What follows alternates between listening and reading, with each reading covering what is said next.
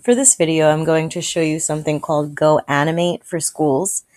And although this is something that people use in businesses as well, GoAnimate for schools allows you to keep everything contained in a safe environment so that you and your students will create things and it will stay um, within your specific digital classroom.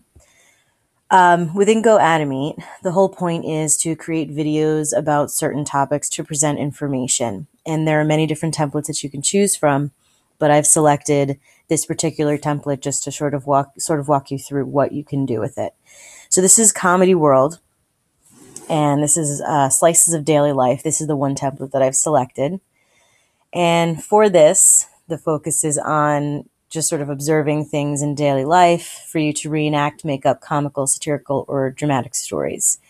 So the drill for this is very simple. You select a template, you choose your characters, you pull a script out of your observations, and then you just watch it and you view it and you could share it on your website. So you could either scroll down for your next step or hit the next button. And this is where you start creating your scene. So you choose a setting, and I've selected the done your homework setting. If you want to take a look at the other ones that are available, you just hit your arrow buttons, and that should take you to the different templates available. I'm going to stick with done your homework. Once I've selected that, I hit the next button and then I select characters. So this is the man I'm going to choose as my teacher, but again, if you just hit these buttons, there are other characters you could choose from.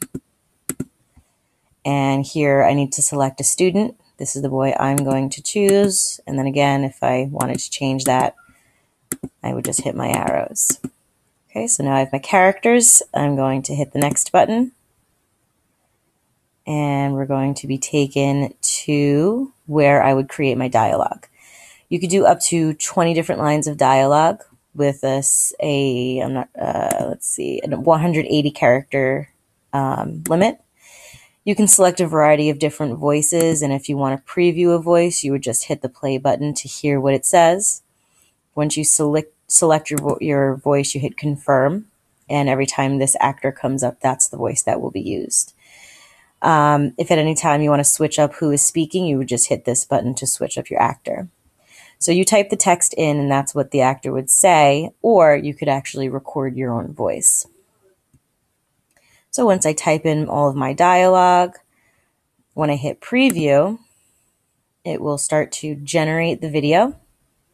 And then this will pop up so you can take a look at how it is, see if you like it. If you like it, then you would save it and share it.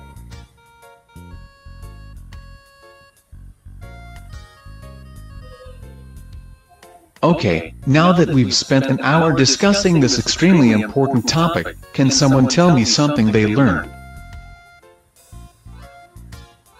Anything. Anything at all.